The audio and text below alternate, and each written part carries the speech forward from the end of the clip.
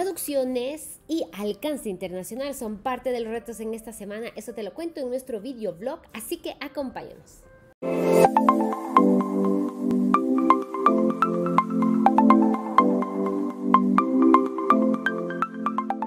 Emprendedores en el mundo digital 690.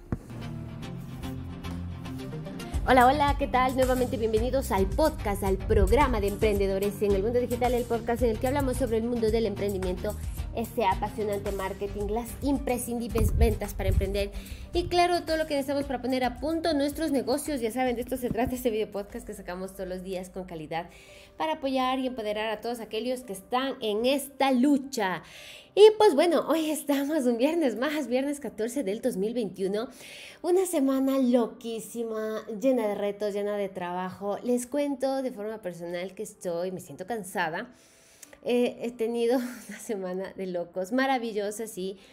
Pero igual, como todo ser humano, a ratos me canso, me canso, así que ya espero el fin de semana para ir, descansar, desconectar, pasar con mi esposo, con mis hijos y pues bueno, pero hoy no nos podemos ir sin compartirles aquellos retos y cosas interesantes y fascinantes que nos han pasado en esta semana.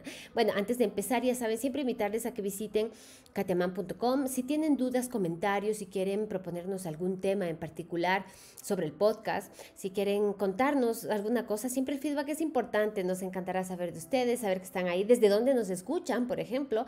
Será genial.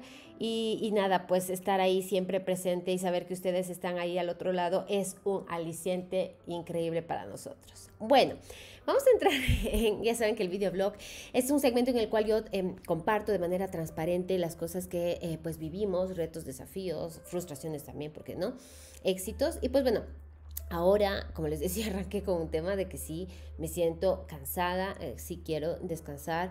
Han sido jornadas muy largas donde me, me levanto muy temprano, a veces me acuesto tarde em, por cumplir las, los objetivos con los clientes y con los proyectos propios de la, de la agencia y de la academia.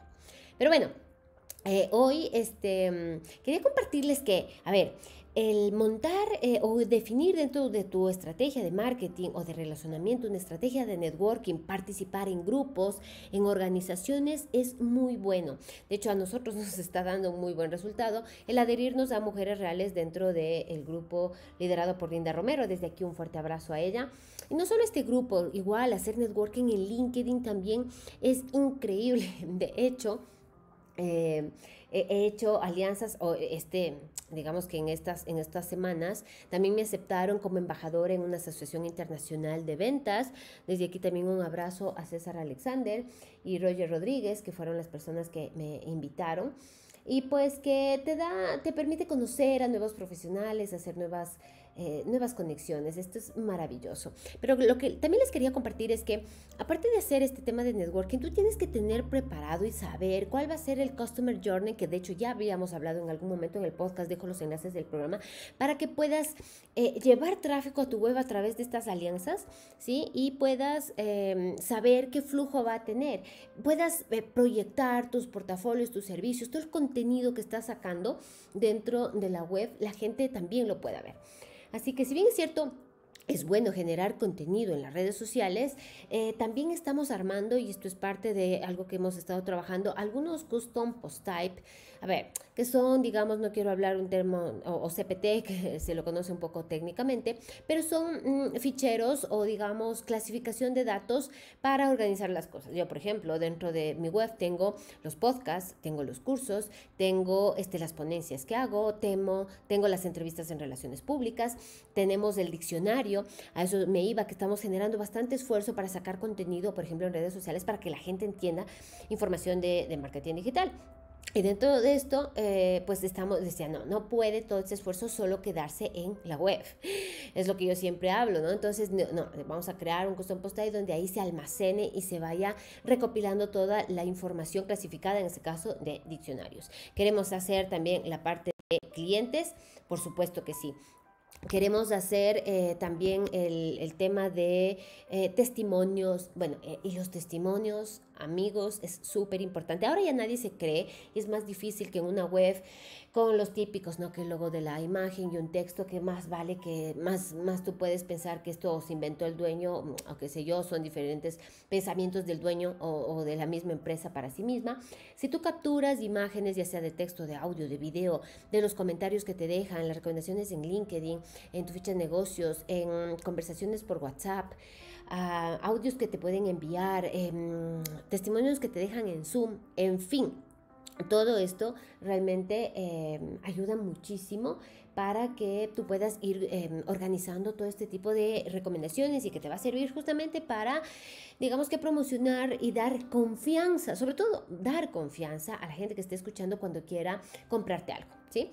Así que esto también lo estamos trabajando y mm, es súper importante trabajar en esto. Entonces me pasó que dentro de, eh, de este grupo alguien preguntaba, bueno, ¿quién nos puede ayudar en temas de marketing digital? Y claro, Linda Romero, que es la presidenta, eh, conoce mucho ya mi trabajo y ella automáticamente por interno recomendó. Enseguida esto hizo que alguien ya me, me contacte por interno, me pide información y yo efectivamente trabajando los flujos de comunicación, que ojo, esto es importante, eh, yo utilizo mucho la herramienta Text Expander para tener todas las, eh, digamos que los flujos que yo ya necesito, como el gracias, como este, qué servicios necesitas, eh, los recursos gratuitos que tenemos, que estos lo van llevando a la web, en fin, hay todo un esquema que ir trabajando para generar esa confianza. Bueno, total pasó que esta persona revisó, le mandé los enlaces, vio los contenidos gratuitos, vio los de pago y se quedó completamente impresionada. Me dijo, wow, este, realmente estoy muy cansada de que ya me hayan cobrado por muchas cosas, em, cobrado porque le han cobrado la web y después la web no funcionaba, estaba abajo y me mandó las capturas y veo que tú eres una profesional porque claro, ahí vio todo el contenido gratuito que damos, todo eh, digamos, a ella puede evidenciar el tipo de conocimientos que les podemos aportar. Y eh, bueno, en fin, Total, enseguida, y esto me llamó muchísimo la atención porque enseguida compró la mentoría. Normalmente la mentoría a veces te demora, ¿no? Porque tiene que, es una serie de reuniones este, por Zoom, revisa, ve y se demora un poco en tomar la decisión. Pero esta persona fue, digamos que un par de horas, revisó un poco y automáticamente, sí, quiero, no te, no te he conocido antes, pero con lo que me dijo Linda, ojo, las recomendaciones em, y con toda la información que estaba dentro de la web, pude evidenciar y se generó esa confianza que, que compró enseguida el paquete de mentoría. Así que genial, estuvo genial. Eso yo me sentí muy motivada. Y lo, lo, más interesante de esto, aparte de comprar que ya de por sí, de que un prospecto se te haga cliente de manera rápida, es que tú puedas, eh, que esta persona comience a hablar súper bien de ti en, en, en, la gente, en público, bueno, en este caso en el grupo. Acabo de ser cliente y les invito a que revisen la web y está súper bien para todos aquellos que... Entonces, claro, ahí llegaron más gente, sí, yo también necesito este servicio. Entonces fue algo muy, muy, muy, digamos que simpático, bueno, saber que em, tenemos eh, esa acogida y pues em, feliz, feliz, feliz. Perdón que aquí por aquí estaba andando una pequeña arañita.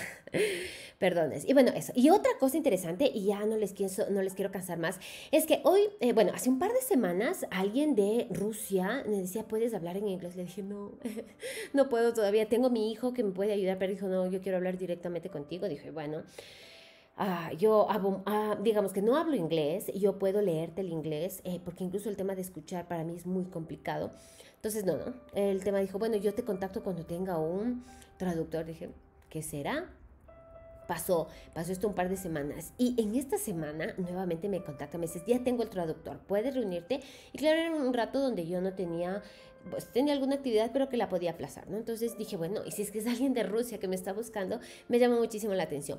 Así que tuve una primera reunión con alguien traduciendo, esta persona hablaba en ruso y nosotros hablábamos español y claro, la traductora oía del uno y traducía, o sea, me pareció interesante, siempre lo había visto solo en las películas, pero vivirlo y con un alcance internacional. Así que, wow, sí o sí les recomiendo implementar estrategias de inbound marketing porque ustedes no tienen idea lo efectivo que es, ojo, a mediano y largo plazo.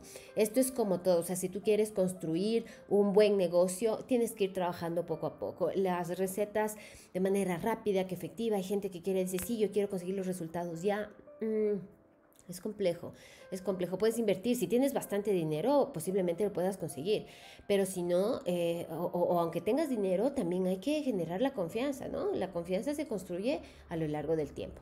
En fin, bueno, esta persona, para no serles más largo, está desarrollando con un equipo de trabajo una plataforma omnicanal para trabajar WhatsApp Business. De hecho, yo ya he entrevistado a alguien, a, varias personas acá sobre estas plataformas que son muy buenas a la hora de, eh, si tú tienes un número grande de gente que te conecta o te busca tus productos, ya sea por Facebook, por Instagram, por las diferentes redes sociales, las puedes, em, digamos que canalizar en una sola interfaz. Esto ayuda muchísimo a la productividad y a generar un buen ambiente, eh, digamos, en la atención al cliente, dar una buena impresión. Así que sobre esto estamos hablando, esta empresa está todavía en temas de piloto. Y pues estaremos, ya les comentaré si llegamos a algún acuerdo, si hacemos algo, pero en todo caso, interesante, interesante. Así que pues bueno, esta ha sido mi semana, amigos queridos, y nada, solo de decirles gracias, gracias por estar ahí. Compartan el contenido, ayuda mucho para que sigamos trabajando este contenido gratuito que va a ayudar a muchas personas, profesionales, emprendedores, empresas que quieran poner sus negocios en el mundo digital. Así que pues bueno, nada, es viernes, el cuerpo lo sabe, cuando terminen sus labores a descansar, a desconectar, a relajarse, que también es importante para retomar energías y nos vemos y nos escuchamos el día de mañana con otro episodio del podcast. No se lo pueden perder. Un fuerte abrazo. Chao, chao.